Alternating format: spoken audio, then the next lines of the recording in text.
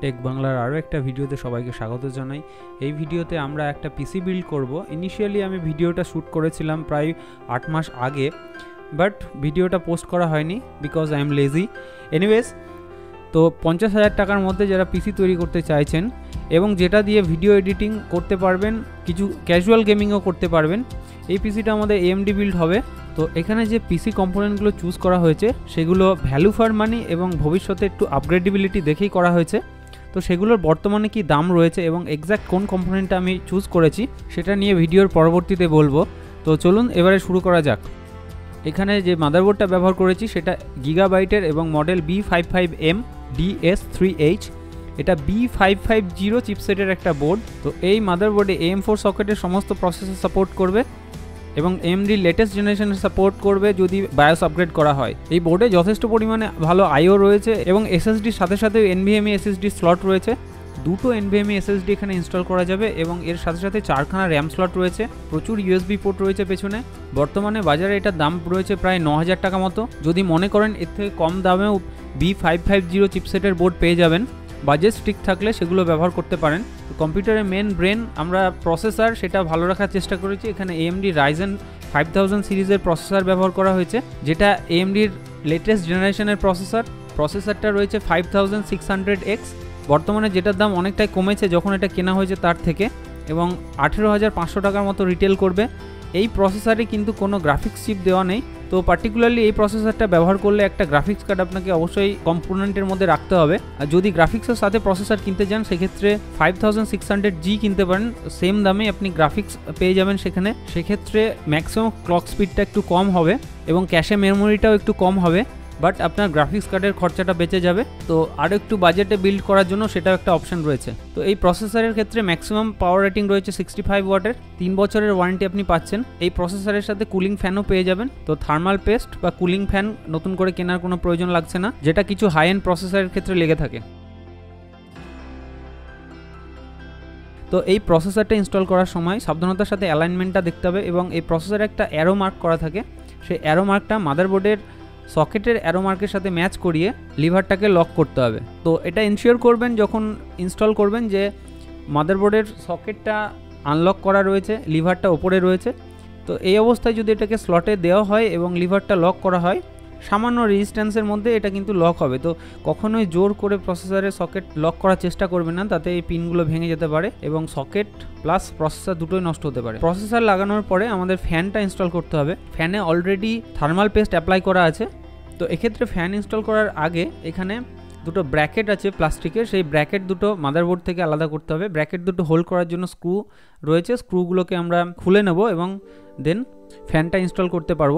ফ্যানটা ইনস্টল করার জন্য নিচে একটা হোল্ডিং ব্র্যাকেট রয়েছে, যেটাকে সঠিক জায়গায় রেখে দিতে হবে, তবেই কিন্তু স্ক্রুগুলো ওখানে টাইট হবে। তো নিচের হোল্ডিং ব্র্যাকেটটা সঠিক জায়গায় রাখার পরে স্ক্রুয়ের অ্যালাইনমেন্টগুলো করে ফ্যানটা হালকা করে রেখে দিন এবং স্ক্রুগুলো ধীরে ধীরে টাইট দেবেন। এই ক্ষেত্রে লক্ষ্য করবেন একটা স্ক্রু একেবারে ফুল টাইট দেবেন না।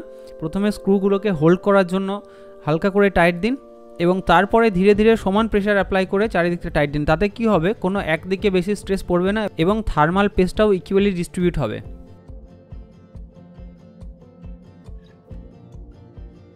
আমার ফ্যান ইনস্টল করা কমপ্লিট এবারে ফ্যানের জন্য যে পাওয়ার আছে, সেটাকে মাদারবোর্ডের সাথে কানেক্ট করতে হবে। এখানে পাওয়ার কেবলটা একটা অ্যালাইনমেন্টেই এখানে কানেক্টারের সাথে যোগ হবে। এখানে সিস্টেম ফ্যান এই ধরনের লেখা থাকে সাধারণত মাদারবোর্ডে সেটা লক্ষ্য করে দেখুন কোন অ্যালাইনমেন্টে এটা বসবে এবং সেটাকে কানেক্ট করে দিতে পারেন। নেক্সট এবারে আমরা র্যাম এবং এনভিএম এসএসডি ইনস্টল করব। প্রথমে র্যামে আসি। র্যাম এখানে ব্যবহার করেছি ক্রুশিয়ালের ব্যালাস্টিক্স এবং আট জিবির একটা সিঙ্গেল স্টিক অনেকে ভাববেন আট জিবি সাফিসিয়েন্ট হবে না বাট এখানে বাজেটের কনস্ট্যান্টের জন্য আট জিবি ব্যবহার করা হয়েছে। যদি ষোলো জিবি সিঙ্গেল স্টিক ইউজ করতে পারেন, সেটা খুবই ভালো এবং এটা হাই পারফরমেন্স র্যাম যার ফলে দামটা একটু বেশি, তাই ডিডিআর ফোর থার্টি টু মেগাহার্জের র্যাম এখানে আমি একটা সিঙ্গেল স্টিক ব্যবহার করেছি। পরবর্তীকালে আমি আপগ্রেড করার অপশন রাখছি, যেহেতু এখানে চারটে স্লট রয়েছে। তো আরও তিনটে স্টিক ইউজ করে আমি বত্রিশ জিবি পর্যন্ত এটাকে আপগ্রেড করতে পারব। তো এই র্যামটা ইনস্টল করার সময় একটা ডিজাইন ফ্ল লক্ষ্য করা যাচ্ছে। এখানে সাফিসিয়েন্ট ক্লিয়ারেন্স নেই ফ্যান এবং প্রথম র্যাম স্লটের মধ্যে। তো আমি এটা একদম শেষের র্যাম স্লটে ইনস্টল করব।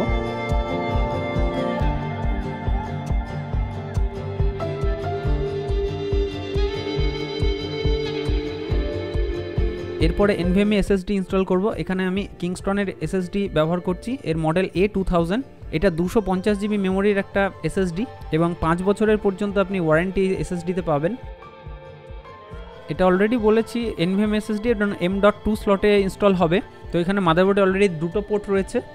এসএসডির দাম পড়বে প্রায় তিন হাজার পাঁচশো টাকা মতো এবং এর ক্লেম রাইট স্পিড হচ্ছে দু হাজার এমবি পার সেকেন্ড তো নর্মাল এসএসডি থেকে অনেক গুণ ফাস্ট এবং ট্র্যাডিশনাল হার্ড ডিস্ক থেকে পঁয়ত্রিশ গুণ বেশি স্পিড এখানে ক্লেম করা হয়েছে। এসএসডিটা ইনস্টল করা খুবই সহজ। এম ডট টু স্লটের অপোজিট একটা স্ক্রু খুলে নিয়ে স্লাইড করে পোর্টের মধ্যে লাগিয়ে দিয়ে তারপরে আবার স্ক্রুটা ফিক্স করে দিলেই আমাদের কাজ কমপ্লিট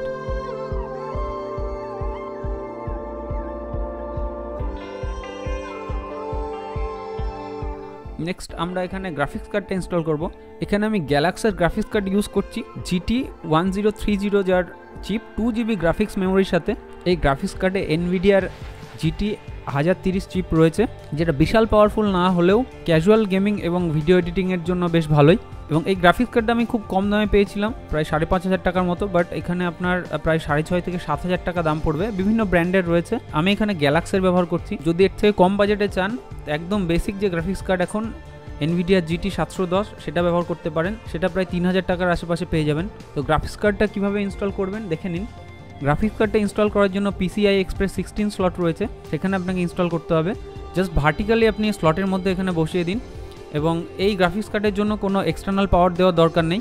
গ্রাফিক্স কার্ডের ডিসপ্লে আউটপুটে রয়েছে একটা এইচডিএমআই পোর্ট এবং একটা ডিভিআই পোর্ট তো এইচডিএমআই এবং ডিভিআর ডুয়াল মনিটার সেটআপও ব্যবহার করতে পারবেন। পিসি কেসটা এখানে ব্যবহার করেছি অ্যান্ড ই স্পোর্টসের মডেল নাম্বারটা আমি ডিসপ্লেতে দিয়ে দিচ্ছি। এটাতে অ্যাকচুয়াল টেম্পার্ড গ্লাস রয়েছে সাইডে এবং বেশ বড় সাইজের ক্যাবিনেট হওয়ার কারণ এয়ার সার্কুলেশনটা ভালো হবে। অলরেডি ফ্যান ইনস্টল করাও রয়েছে এবং সেটা আট জিবি ফ্যান খুব ভালো ব্যাপার। এর সাথে কিন্তু কোনো রকম পাওয়ার সাপ্লাই পাবেন না। পাওয়ার সাপ্লাই সেপারেট করে কিনতে হবে। এবং একটা ভালো কোয়ালিটির পাওয়ার সাপ্লাই কেনাটাই বুদ্ধিমানের কাজ। এই ক্যাবিনেটের বর্তমানে দাম রয়েছে প্রায় তিন হাজার চারশো টাকা মতো। তো পার্টিকুলার এই ক্যাবিনেট কিনতে হবে এরকম কোনো ব্যাপার নেই। যখনই ক্যাবিনেট কিনবেন, দেখে নেবেন সাইজটা যেন ভালো হয় এয়ার সার্কুলেশন বেটার থাকে। ফ্রেমের কোয়ালিটি ভালো দেখে নিতে হবে মোটামুটি। তার সাথে সাথে কেবল ম্যানেজমেন্টের সিস্টেম রয়েছে কিনা। এবং যদি আপনার আট জিবি কালার পছন্দ থাকে, তো আট জিবি এলইডি দেওয়া নিতে পারেন। ক্যাবিনেটের পেছনে আমরা প্রথমে মাদারবোর্ডের সাথে দেওয়া আয়ো ফ্রেমটা ইনস্টল করব। তো আয়ো ফ্রেমটা ফ্যানের নিচের দিকে যে জায়গাটা রয়েছে, সেখানে বসানোর পর একটু প্রেশার অ্যাপ্লাই করতে হবে এবং অ্যালাইনমেন্টটা দেখে নেবেন। নিচের দিকে স্পিকারের ইনপুট আউটপুটগুলো থাকে। মাদারবোর্ড ইনস্টল করার জায়গায় অলরেডি রাইজার স্ক্রুগুলো ইনস্টল করা রয়েছে। তো রাইজার স্ক্রুগুলো দেখতে হবে টাইট আছে কিনা। তো রাইজার স্ক্রুগুলো মাদারবোর্ডটাকে ক্যাবিনেটের থেকে একটু হাইটে রাখে। যাতে মাদারবোর্ডের নিচের কানেকশানগুলো ক্যাবিনেটের প্লেটের সাথে টাচ না করে, তাতে শর্ট সার্কিট হওয়ার সম্ভাবনা থাকে। মাদারবোর্ড ইনস্টল করার সময় দেখা যায় যে রাইজার স্ক্রুগুলো দেওয়া হয়েছে, সেগুলো অন্য লোকেশানে দেওয়া হয়েছে। তো তো সঠিক জায়গাতে রাইজার স্ক্রুগুলো লাগিয়ে নিতে হবে। তো এবারে মাদারবোর্ডটা অ্যালাইন করে পেছনের আয়ো পোর্টের সাথে সুন্দরভাবে অ্যালাইনমেন্ট হবে এবং মাদারবোর্ডের যে স্ক্রু ফিক্স করা জায়গাগুলো রয়েছে, সেখানে ক্যাবিনেটের স্ক্রুগুলোর সাথে সঠিকভাবে ম্যাচ করবে। কাজটা ধীরে ধীরে এবং ধৈর্যতার সাথে করতে হবে। সঠিক অ্যালাইনমেন্ট হলে আমরা স্ক্রুগুলোকে ফিক্স করব মাদারবোর্ডের সাথে। এক্ষেত্রেও একটা একটা স্ক্রু ফিক্স করব বাট পুরো টাইট না করে, যাতে মাদারবোর্ডে কোনো পার্টিকুলার এরিয়াতে স্ট্রেস না পড়ে।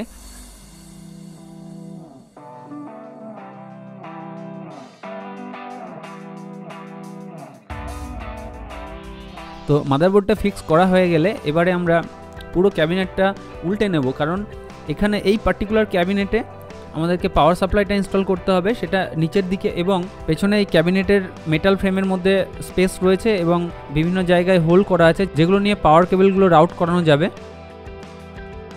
তো এবারে যেটা আসব, আমার পাওয়ার সাপ্লাই পাওয়ার সাপ্লাই আমি এখানে অ্যান্টেকের ব্যবহার করেছি ভিপি চারশো পঞ্চাশ পি প্লাস এটা বাজেটে একটা হাই এফিসিয়েন্সির পাওয়ার সাপ্লাই আছে। এটা supply efficiency eighty five percent রয়েছে।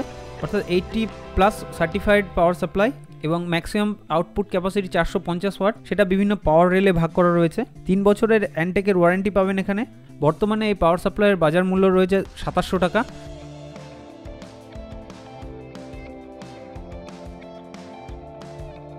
তো পাওয়ার সাপ্লাইটা ক্যাবিনেটের সঠিক জায়গায় বসানোর পরে স্ক্রু অ্যালাইনমেন্টগুলো দেখে স্ক্রুগুলোকে ফিক্স করতে হবে।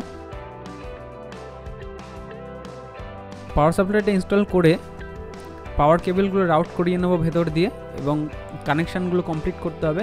দেখতে পাচ্ছেন ফ্ল্যাট পাওয়ার কেবল ব্যবহার করা হয়েছে এবং পাওয়ার কেবলের কোয়ালিটি বেশ ভালো এবং ব্ল্যাক কালার হওয়ার জন্য এখানে ক্যাবিনেটের সাথে খুব ভালোভাবে ম্যাচ করছে।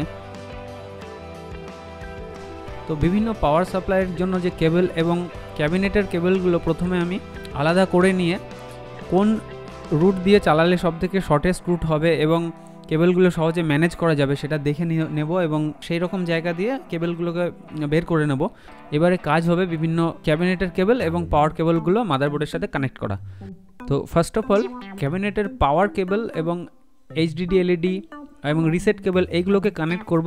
বেশিরভাগ ক্ষেত্রে এই কানেকশানের জন্য একটা ডায়াগ্রাম আপনি মাদারবোর্ডের ম্যানুয়ালে পেয়ে যাবেন। এবং স্ট্যান্ডার্ড যে ডায়াগ্রামটা ব্যবহার করা হয়, সেটা আমি ডিসপ্লেতে শো করছি, কিন্তু অবশ্যই এটা কিন্তু একবার দেখে নেবেন যে আপনার মাদারবোর্ডের সাথে সেটা মেনশন করা আছে কিনা। সাধারণত মাদারবোর্ডের এই পিনগুলোর নিচে এটা লেখা থাকে শর্টে কোনটা কোথায় কানেক্ট হবে। নেক্সট ইউএসবি থ্রি কানেকশানের জন্য যে কেবল রয়েছে, সেটা কানেক্ট করব। এরপরে ফ্রন্ট ইউএসবি এবং ফ্রন্ট অডিওর জন্য কেবল কানেক্ট করতে হবে। সিপিইউকে পাওয়ার দেওয়ার জন্য পাওয়ার সাপ্লাই থেকে যে কেবল রয়েছে, এটা চার পিন বা আট পিনের হয়। যেখানে বেশি পাওয়ার দরকার হয়, সেখানে আট পিন লাগে। না হলে আট পিনটা ডিসকানেক্ট করে চার পিন করা যায়। তো আপনার মাদারবোর্ডের স্পেসিফিকেশান হিসাবে এটা লাগাবেন। ক্যাবিনেটের সাথে যে কুলিং ফ্যান দেওয়া হয়েছে, সেটার পাওয়ার কানেক্ট করব। নেক্সট হচ্ছে টোয়েন্টি ফোর পিনের যে মেন পাওয়ার কানেক্টার রয়েছে পাওয়ার সাপ্লাই থেকে, সেটা বোর্ডে লাগাতে হবে। এটা বেশ বড় সড়ো হয় এবং এটা অ্যালাইনমেন্ট সঠিক করে দেখে, বেশ একটু প্রেশার অ্যাপ্লাই করে লাগাতে হয়। এগুলো কমপ্লিট হয়ে গেলে আরও অনেক পাওয়ার কেবল এক্সট্রা থাকবে, যেগুলো আমাদের বর্তমানে লাগবে না। সেগুলোকে একটু অ্যারেঞ্জ করে নিতে পারেন। তো এই প্রসেসটা কমপ্লিট হলে একবার কম্পিউটারটা অন করে প্রথমে দেখব যে কম্পিউটার পাওয়ার অন হচ্ছে কিনা। তারপরে ফাইনাল টেম্পার্ড গ্লাসটা লাগিয়ে ক্যাবিনেটটা ক্লোজ করব বা কেবলগুলো আরও ভালোভাবে অর্গানাইজ করব। অলরেডি দেখতে পাচ্ছেন আমার এখানে কম্পিউটার বুট হয়ে গেছে।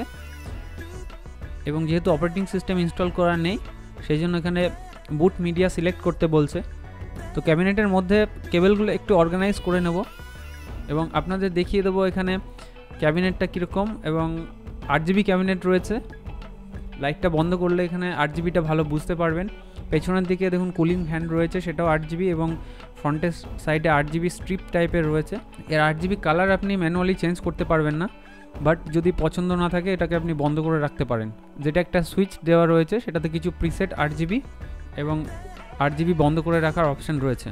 এবারে আমাদের পিসি বিল্ড কমপ্লিট আমি সফটওয়্যার ইনস্টল করা বা এগুলো দেখাবো না। যদি এই কম্পিউটারের বেঞ্চমার্ক বা কোনো পার্টিকুলার কম্পোনেন্টের ব্যাপারে কোনো কোয়েশ্চেন থাকে, আপনি জিজ্ঞাসা করতে পারেন সেটা। ভিডিওটা যদি হেল্পফুল হয় চ্যানেলটা সাবস্ক্রাইব করতে পারেন বা ভিডিওটা শেয়ার করতে পারেন অন্য কাউকে। আর শেষ পর্যন্ত যদি ভিডিওটা দেখে থাকেন, অনেক অনেক ধন্যবাদ আপনাকে। আশা করি আপনার সাথে আবারও পরবর্তী ভিডিওতে খুব তাড়াতাড়ি দেখা হবে। ভালো থাকবেন ধন্যবাদ।